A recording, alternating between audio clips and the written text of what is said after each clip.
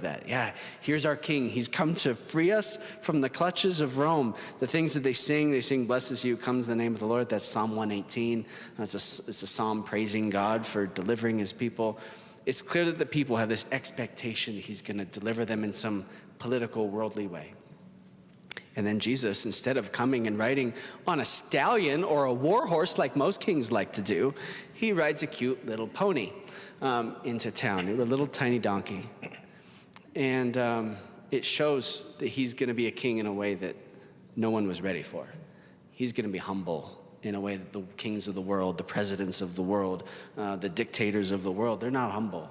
Jesus is going to come in a different way. He's not coming to free his people from the clutches of a political power, he comes to free them from the devil. Uh, he comes to conquer that enemy, not the enemies that we might experience in a worldly way. And